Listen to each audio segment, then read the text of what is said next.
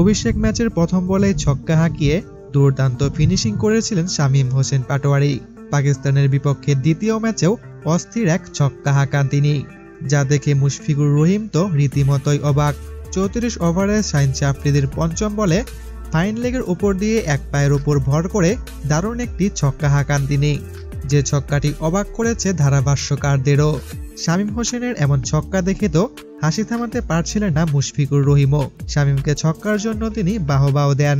তবে শামীমের এই ছক্কার কারণেই তার মধ্যে অতিরিক্ত আত্মবিশ্বাস চলে আসে। পরের ওভারেই ইফতিখারকে ছক্কা মারতে গিয়ে ক্যাচ আউট হন তিনি।